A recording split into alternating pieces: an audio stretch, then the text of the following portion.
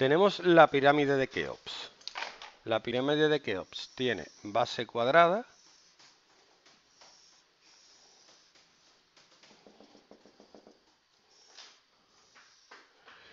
y de ella hemos ido a Egipto y sabemos que el lado de la base mide 230 metros. Chan chan. Y la altura es de 146 metros. Voy a poner 147 metros. Ha crecido. Entonces yo lo que hago es desarrollar la figura. Dibujo la base y le pongo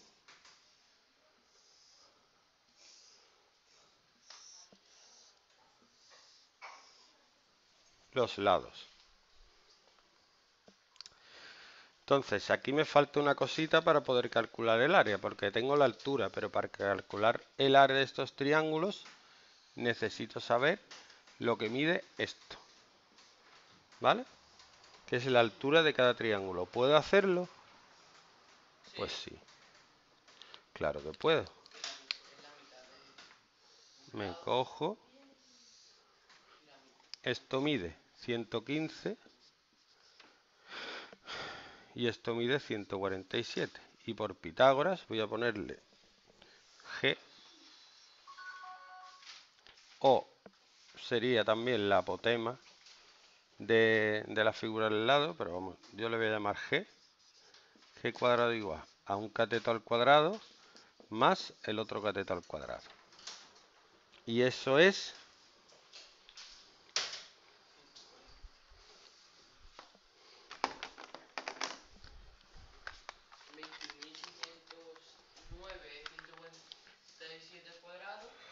al cuadrado 21.609 más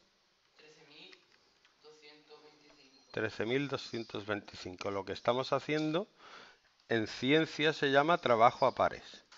¿Vale? Cuando tú tienes que demostrar algo, lo haces tú y lo hace otro.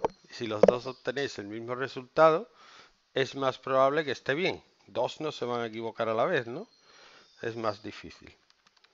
Entonces, tú haces la cuenta, yo hago la cuenta, que da lo mismo. Es que está bien. Esto es trabajo científico.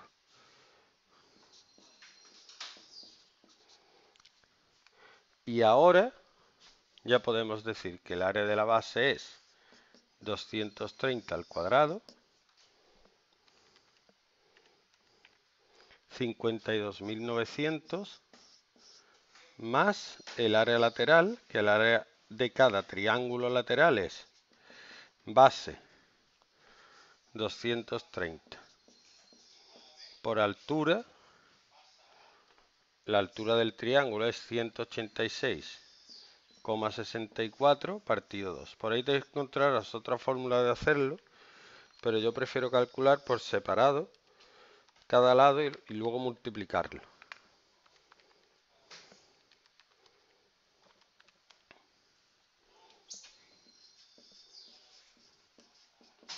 Entonces el área total de la pirámide es el área de la base, en este caso solo tiene una, porque termina en pico, más en este caso cuatro veces, porque es un cuadrado de la base y tiene cuatro lados, el área de cada triángulo lateral.